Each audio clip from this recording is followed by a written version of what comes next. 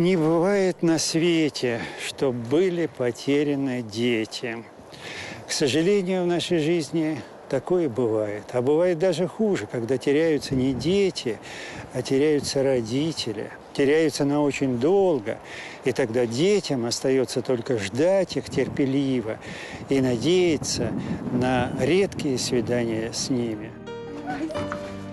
Большинство таких детей живут в детских домах, потому что их мамы, отбывающие наказание в колонии, лишены родительских прав.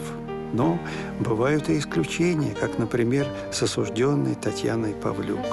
Ее история, на мой взгляд, очень поучительна.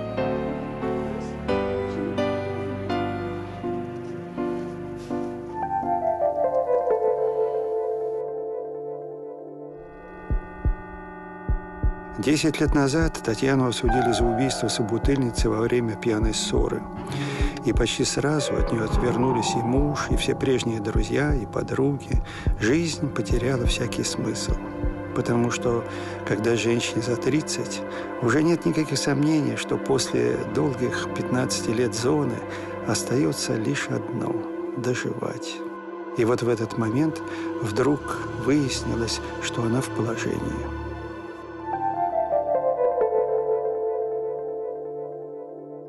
Рождение дочери стало для Татьяны началом новой жизни. И пока Яна находилась в доме ребенка при колонии, она чувствовала себя абсолютно счастливой. Но когда девочке исполнилось три года, ее, как и положено по закону, перевели в детский дом города Рузы. И целых семь с лишним лет мама с дочкой общались только по телефону.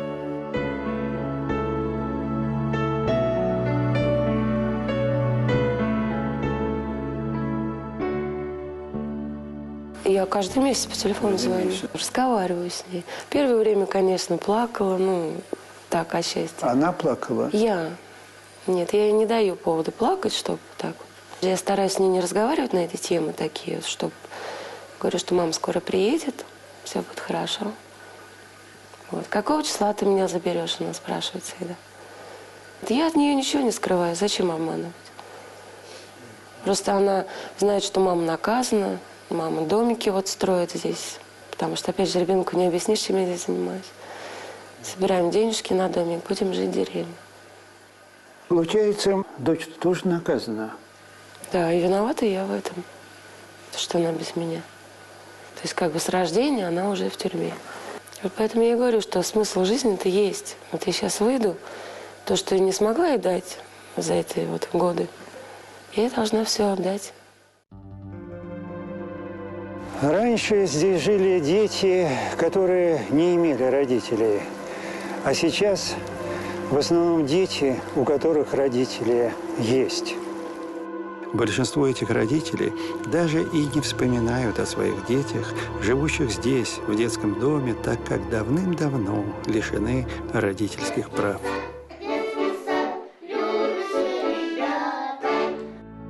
Я долго думал, каким словом выразить суть здешней жизни. Любовь, доброта, доверие. Ни одно из них не вызывало сомнений. И все-таки, в конце концов, я понял, что точнее других слово «надежда». Ведь чем бы ни занимались эти мальчишки и девчонки, они ждут и надеются, что в жизни каждого из них однажды появится мама или папа, и тогда наступит ни с чем не сравнимый праздник. Такой день – своеобразная веха и в жизни директора детского дома Жанны Геннадьевны Слюнченко. Можно ли говорить о том, что вот вы со спокойным сердцем отдаете своего ребенка только в том случае, когда у вас появляется какая-то уверенность, что вот ему там будет лучше, чем у вас? Да, Могу сказать стопроцентно. Когда э, приходят у нас кандидаты в приемную семью, ну, какое-то третье чутье, какой-то открывается, наверное, третий глаз, и видишь, и вот, и думаешь, что, что вот мой ребенок не подойдет э, вот этой семье, моему, вот этого бы надо ребенка вот в эту семью, и действительно они дадут то, что ему нужно. Понимаете?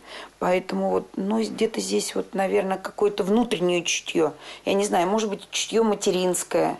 Потому что для меня все дети детского дота – это мои родные дети. К моменту нашего знакомства Татьяна Павлюк уже 10 лет находилась в Можайской колонии, а Яна – 7 лет в детском доме. Это фотография? Да, она всегда при Всегда с вами, да? А если вдруг забыли ее? Или такую? А ее невозможно забыть, потому что у меня лежит там рабочий пропуск, ну, как наш паспорт. Угу. Без него тоже никуда. И вот Яночка у меня там фотография. Ну, иногда так поговорю с ней. Спокойной ночи, если дожила, и доброе утро. Вот так. Я понимал, что отсюда, из забора колонии, жизнь на свободе, наверное, кажется Татьяне каким-то сплошным, непрекращающимся счастьем. Домик в деревне, солнышко и цветочки, мама и маленькая дочка в центре, а дочке-то, между прочим, через пять лет, когда мама выпустят на свободу, будет уже пятнадцать. Какой будет их встреча? Не раз думала Жанна Геннадьевна и однажды решила устроить им свидание.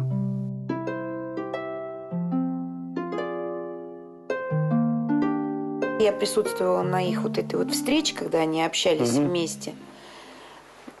Понимаете, вот там действительно вроде бы э, взаимоотношения очень эм, теплые, такие, знаете, трепетные.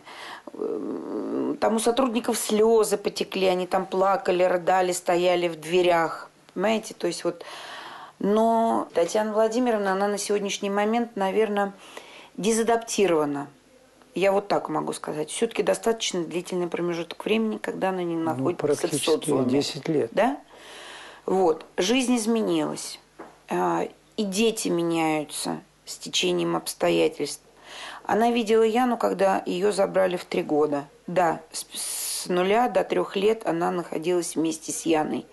Дальнейший промежуток времени ребенок полностью у нее выпадает. И у нее еще, когда при встрече, у нее еще была та ассоциация, когда она была маленькая. И она к ней, когда вот она встретила ее, она к ней относилась как вот э, к ребенку до трех лет.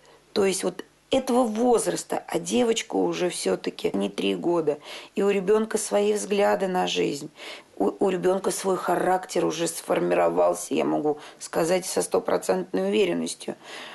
Маме, по сути дела, надо начинать жизнь заново. Она, выйдя с мест лишения свободы, думает, для нее откроются все блага.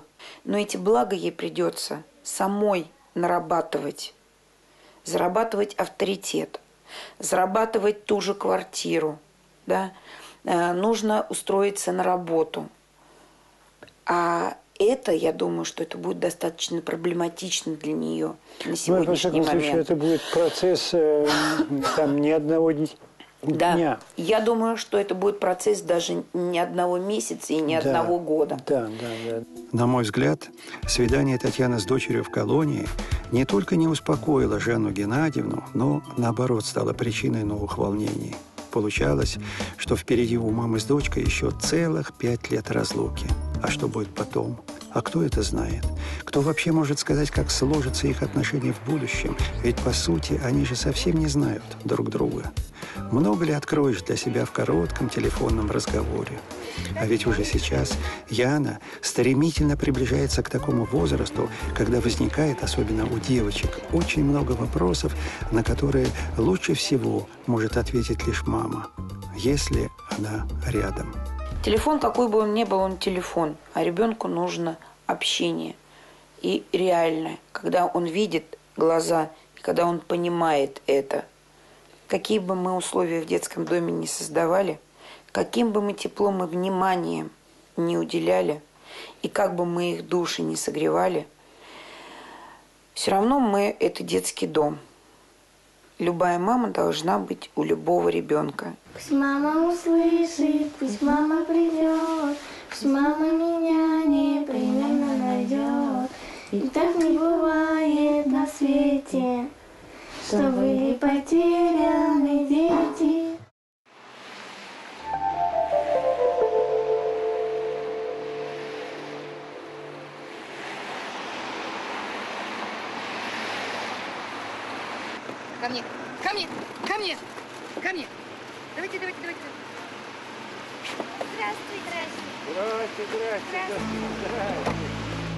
Кто мог еще совсем недавно предполагать, что дрессировщица Ольга Анатольевна Нечаева станет для Яны Павлюк родным человеком? Кто объяснит, как вообще находят люди друг друга? Что для этого нужно? Можно услышать десятки мнений, но лично мне ближе точка зрения Ольги Анатольевны. Все в руках Божьих. Когда мне было э, лет 16, я сказала маме, что я, когда вырасту, буду жить самостоятельно, я возьму ребенка из детского дома. Э, почему? Вы знаете, сказать трудно, э, поскольку я еще с животными как-то связана. Ребенок и, и животные, и дети, они на, на одной ступеньке, в моем понимании, что они такие же беззащитные, трогательные, преданные, нежные. Э, я так для себя понимаю, не знаю, как другие, кто что понимает. Для меня это всегда такой, кому надо заботиться. И когда вот ты приезжала, приезжаешь к ней, и держишь на руках, общаешься с ней, а они вот там сидят в уголочке и смотрят. А был случай, когда только поступила девочка, вот она сидит, перед ней листик, и она рисует сердечко и пишет «Мама». Второе сердечко «Люда». И вот этот весь листик в этих сердечках. И вот так ездила по детским домам, ездила и созревала. Созревала. И потом оно, знаете, не столь э, трудно принять решение, сколь трудно найти своего ребенка. А это же, не, знаете, не ткнешь пальцем просто. Сейчас сложно сказать, что именно повлияло на решение Ольги Анатольевны. Наверное, все вместе. И смерть мужа, и ощущение одиночества, и, конечно же, то, что зрело в ней с юных лет. Желание помочь тому, кто слабее. Полина первая моя девочка, которую я взяла 4 года назад. Ей тоже 9, но я ее взяла в 6 с половиной. Я приехала вообще другого ребенка навестить, совершенно к другому ребенку. Я увидела Полину. Она сидела как воробушек, там, вдалеке от всех детей, как воробушка. Она маленькая, худенькая была такая, вот такие у нее были два хвостика. И вот этот воробушек вот там сидел. И все. Я билась за нее долго. Ее не хотели отдавать, потому что она только поступила, она что-то маленькая. В общем, я ее взяла. Как только Полина была оформлена, и чуть-чуть мы встали на ноги, вдруг я на сайте пролистываю, знаете, есть э, всевозможные сайты, где вывешены фотографии детей. И я увидела Яну. И там удивительный взгляд ее, какой-то такой невозможно объяснить. И все, все. В течение года Ольга Анатольевна собирала необходимые документы и ездила в детский дом на свидание с Яной. Она видела, с какой радостью встречает ее девочка, и сама с нетерпением ждала каждой новой встречи. Но она не подозревала, что существуют обстоятельства, которые может помешать ее планам. Татьяна Павлюк не была лишена родительских прав, и потому без ее согласия нельзя было передавать девочку в приемную семью. Ситуация была непростой. Жанна Геннадьевна понимала, что Яне во всех отношениях будет лучше в семье Ольги Анатольевны, чем еще пять лет ждать свою маму, оставаясь в детском доме. Но она была не уверена, что Татьяна сможет переступить через свои вполне понятные материнские чувства ради будущего дочери.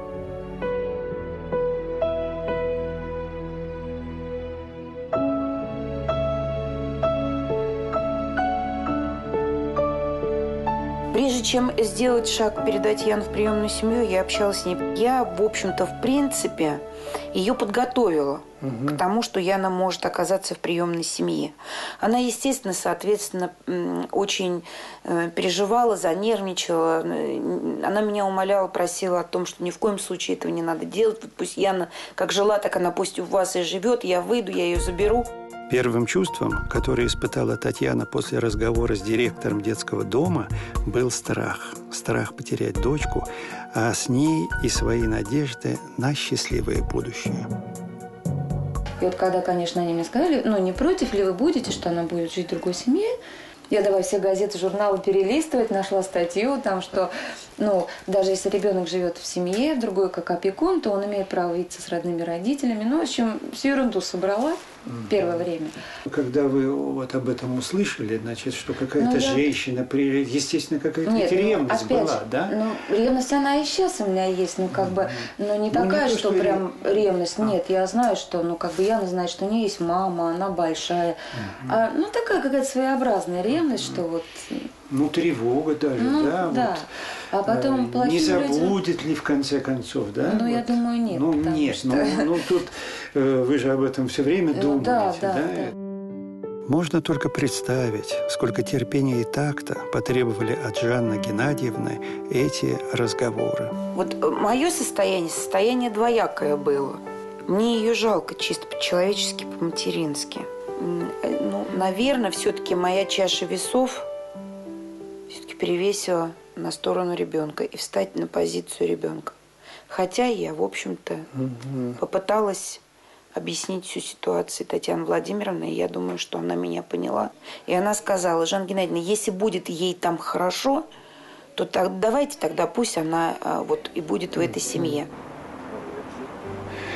Детский дом, город Руза. Вот здесь почти семь лет жила Яна Павлюк.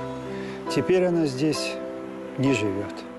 Нелегко даже растение переместить из одной среды в другую, а тем более человека. Но и в том, и в другом случае не обойтись без человеческого тепла и заботы. И Яна это ощутила с первых минут пребывания в новой семье. Ей сейчас очень сложно, Яне. А в школа, школа очень серьезная. После Рузы Другие, другие требования, и все сложно дается им. Она плачет, Яна, у нее не получается, а мы боремся. Потому что мы переплакали все с Полиной, и мы переплакали на четверки и пятерки полугодовые, без единой тройки. Мы переплакали. Мы все это перепрыгнули. Теперь с Яной. Это все, а как иначе? И английский надо знать. Надо знать. Надо, надо. А Полина разговаривает уже, а это переживает, что не получается. Ну, мы, мы наверстаем, и все будет хорошо. Для вас м, вот эти вот э, девочки уже без всяких преувеличений родные, да? Да. Это родные существа. Да вообще чужих детей не бывает. Это, это вообще не... и Это вот... Я не просто так вот, знаете, выражаюсь. Я вообще не могу понять, как чужая боль. А боль маленького ребенка вообще как можно пройти там мимо, мимо собаки ты ну, не пройдешь, понимаешь? А тут ребенок. Ощущаете, что дома стало теплее? Да, конечно, конечно. И э, вот от своих, от этих детей от, э, я чувствую только тепло. Сто раз на дню, мамочка, мы тебя любим. Чем тебе помочь сто раз на дню? В отличие от дочери, которой каждый день приносил новые впечатления и открытия, жизнь Татьяны была подчинена раз и навсегда установленному распорядку колонии. Но что бы она ни делала, все мысли ее были о Яне. Как она там? Какие люди вокруг нее? Не забыла ли она свою маму? И вдруг, как гром среди ясного неба, объявление о предстоящем свидании. Хотя бы я знала, что они точно приедут, да, вот какого числа. Но мне сообщила, да, администрация, как бы без обмана. И все равно такое было в сердце, знаете, а вдруг не приедут, а вдруг что-то испугаются, а вдруг что-то там, ну, не смогут они в этот день приехать. Все, вот передумаешь, все. Просто вот так вот кругом голова. И вот когда вот этот звонок э, к нам, где мы вот сейчас живем, да, звонят и говорят, вот вас вызывают в комнату свидания, это все, это летишь, никого не видишь вообще. Ну, то есть... Ну да, это вот я по себе так говорю. Я не знаю, конечно, но люди, кому там, может, приезжают каждый месяц, может, не так реагируют, что... А я вот именно вот так. Поэтому как будто мне не 42 года, а там лет 20 я вот полетела такая вся вот... Поэтому... Вау.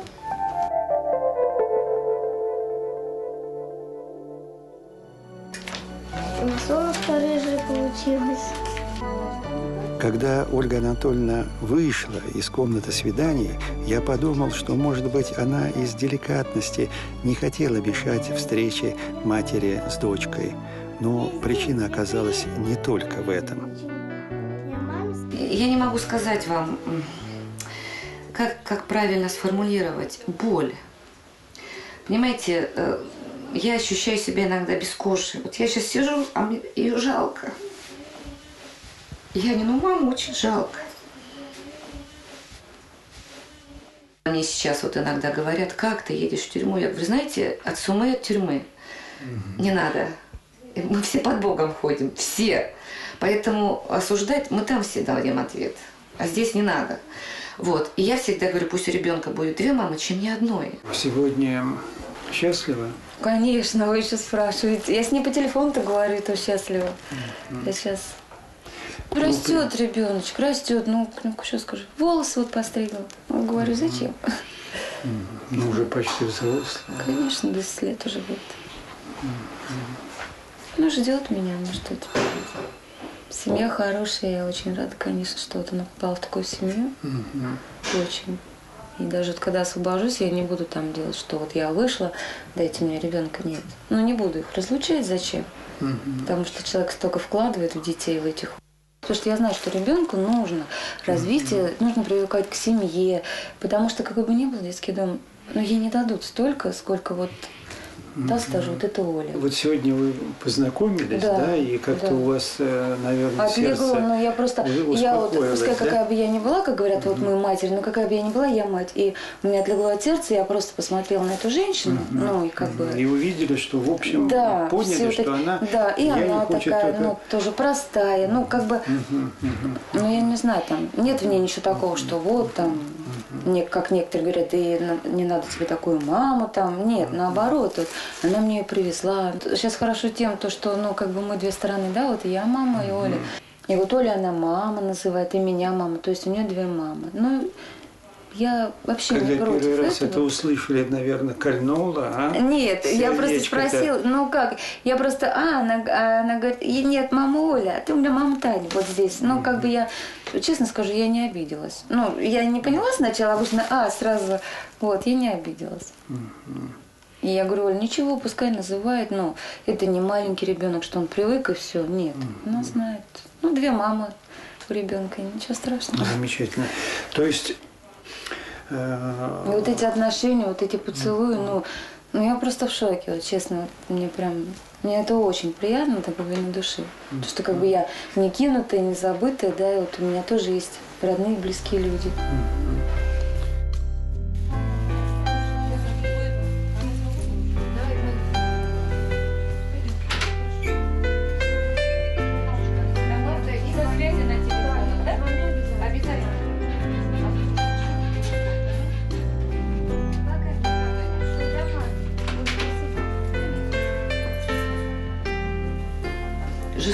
Очень много кругом. И знаете, э, как э, пел Майкл Джексон в песне «Потерянные дети», потрясающая совершенно песня, что э, суть такая, что очень хорошо, сидя на диване, положа ногу на ногу, в тепле и в уюте, глядя телевизор и подсчитывая свои блага, разговаривать на тему, как мир жестоко, как можно помочь кому-то, да, где-то там что-то происходит, лечь спать спокойно, укрыться одеялом и видеть хорошие сны. А так э,